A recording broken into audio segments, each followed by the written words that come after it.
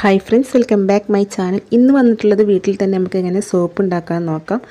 അപ്പോൾ വീട്ടിൽ ഒരു സോപ്പ് ഉപയോഗിച്ച് നമുക്ക് ഒന്നും രണ്ടും സോപ്പ് തയ്യാറാക്കാവുന്നതാണ്. തുളസിയും അലോവേര ഒക്കെ ഉപയോഗിച്ചിട്ടാണ് ചെയ്തെടുക്കുന്നത്. അപ്പോൾ എങ്ങനെ തയ്യാറാക്കാം നമുക്ക് നോക്കാം. അതിന് വേണ്ടിയിട്ട് തുളസി ഒരു പിടി എടുത്തിട്ടുണ്ട്. പിന്നെ രണ്ട് കറ്റാർവായ എടുത്തിട്ടുണ്ട്.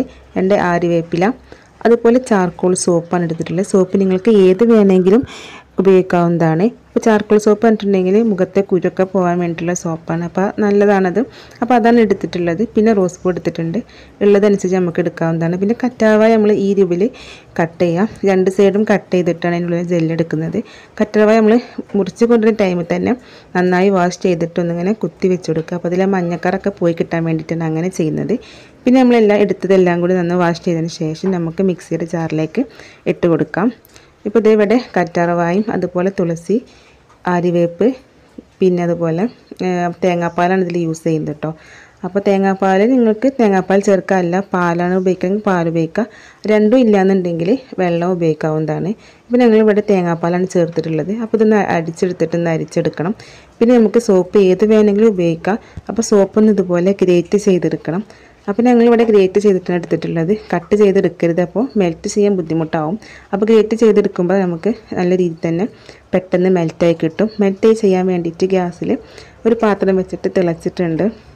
അപ്പോൾ തിളച്ചതിലേക്ക് ഒരു പാത്രം കൂടി ഇറക്കി വെച്ച് കൊടുക്കുക. അപ്പോൾ ഡബിൾ ഡബിൾ ബോയിഡാണ് ചെയ്തെടുക്കുന്നത്. അപ്പോൾ ഗ്യാസിലേക്ക് ഡയറക്റ്റായി വെക്കാൻ പറ്റിയിട്ടുള്ള പാത്രം തന്നെ നമ്മൾ ഉപയോഗിക്കാം കേട്ടോ അപ്പോൾ പിന്നെ വേറൊരു പാത്രം നമുക്ക് യൂസ് ചെയ്യേണ്ട ആവശ്യമില്ല. അപ്പോൾ ഈ പാത്രത്തിലേക്ക് തന്നെ സോപ്പ് ഒന്ന് മെൽറ്റ് ചെയ്യുന്ന ടൈമിൽ രണ്ട് ടീസ്പൂൺ വെളിച്ചെണ്ണയും കൂടി ചേർത്ത് കൊടുക്കുക.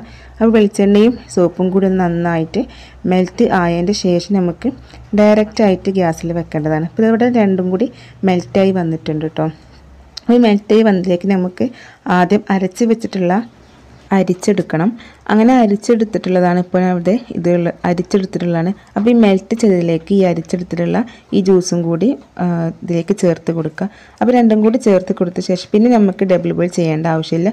ഒന്ന് മിക്സ് ചെയ്തതിന്റെ ശേഷം നമുക്ക് ഡയറക്റ്റായിട്ട് ഗ്യാസ് തന്നെ വെക്കാം ഈ പാത്രം. അപ്പോൾ ഇത് ഞങ്ങൾ ഗ്യാസ് തന്നെ വെച്ചിട്ടാണ് ചെയ്തിരിക്കുന്നത്. അപ്പോൾ ചെയ്യുന്ന ടൈമിലൊന്ന് ലോ ഫ്ലെയിമിലോട്ട് മാറ്റിയിട്ട് വേണം ചെയ്തെടുക്കാനായിട്ട്. അല്ലെങ്കിൽ പെട്ടെന്ന് കരിഞ്ഞു പോകാനും സാധ്യതയുണ്ട്. അപ്പോൾ ഒന്ന് നന്നായി ഇളക്കി കൊടുക്കുക. അപ്പോൾ വെറുതെ തിക്കായി വന്നിട്ടുണ്ട്. ഇങ്ങനെ തിക്കായി വന്ന ശേഷം ഒന്നും കൂടി ഒന്ന് തിക്കായി വരട്ടെ.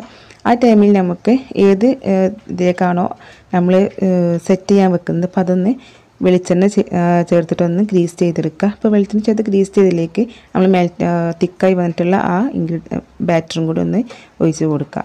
പിന്നെ നമുക്കിത് സെറ്റ് ചെയ്യാൻ വെക്കാം. സെറ്റ് ചെയ്യാൻ വെക്കുമ്പോൾ നമുക്ക് മൂന്ന് ദിവസം കഴിയുമ്പോൾ തന്നെ നമുക്കിത് സെറ്റായി കിട്ടും.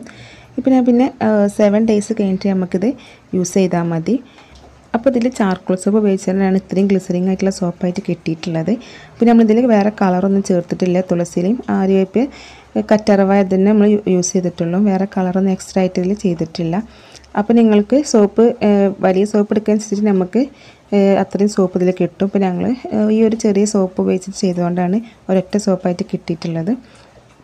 അപ്പോൾ ഈ വീഡിയോ ഇഷ്ടമായിട്ടുണ്ടെങ്കിൽ ലൈക്ക് ചെയ്യാനും ഫ്രണ്ട്സിനും ഫാമിലിക്കും ഷെയർ ചെയ്യാനും മറക്കരുത്.